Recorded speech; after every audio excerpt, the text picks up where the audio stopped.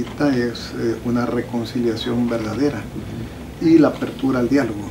Desafortunadamente se han cerrado estos canales, los dos partidos este, han fomentado la polarización y es una labor del resto, tanto de la sociedad civil como de los partidos que estamos en, posiciones intermedias, de eh, motivar a que se realicen este tipo de diálogos y que se renueve esas conversaciones que deben de existir, no solamente entre las dos fuerzas políticas, sino que entre todos los sectores. Mira, recuerde que el grupo de embajadores realizaron una reunión allá en, el Hotel Camino Real, en el Intercontinental.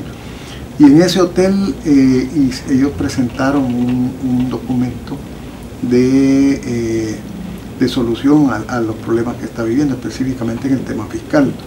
Hablaba de medidas a corto plazo y medidas a largo plazo. Y ellos en un estudio de más de 300 páginas, ellos eh, expresaron, el técnico que, los técnicos que lo elaboraron, expresaron de que era necesario, digamos, el, el consenso para buscar los financiamientos. Por supuesto que también está la otra salida, que es la de promover eh, la productividad. Pero que esa, esa medida ellos la han señalado como a mediano plazo. En este momento el problema que se tiene es de liquidez y lo expresaron los técnicos frente a todas las fuerzas políticas y frente a todos los embajadores. Y ahí fue el primer llamado que hicieron ellos a que se buscara ese consenso y que se buscara la solución a los problemas que estamos viviendo. Recordemos que hubo un acuerdo entre las dos fuerzas políticas y el gobierno que fue firmado en Casa Presidencial. Ahí se tocaron los temas, uno de lo de eh, el ITVA. Se tocó el tema de eh, las pensiones del, del, INPEP, del IS, los SIP, están pendientes, que han agarrado de los 230 millones.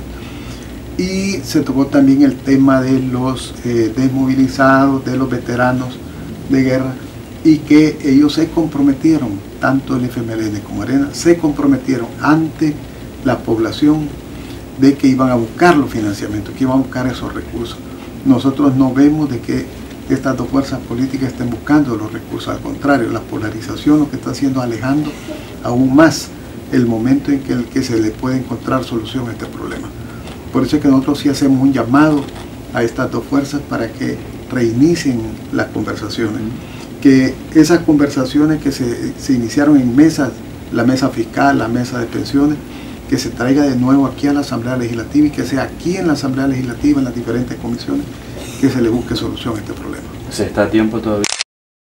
El problema del tiempo creo que en alguna medida nos va a alcanzar y nos va, nos va a golpear, porque usted mismo ha dicho de que la colocación de los bonos que han sido aprobados todavía no, no se ha realizado. Pues, o sea, todo eso toma tiempo.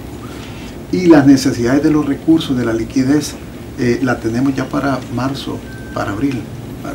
Eh, se tienen que hacer pagos y volvemos a caer en el mismo problema de que si no se paga, vamos al impago, que vienen las presiones del Fondo Monetario, del Banco del BID y todo todos los deudores que, que que, ¿cómo se llama? que, el, que el país eh, ha, empeñado su palabra y empeñado su imagen para poder obtener recursos, se van a ver afectados.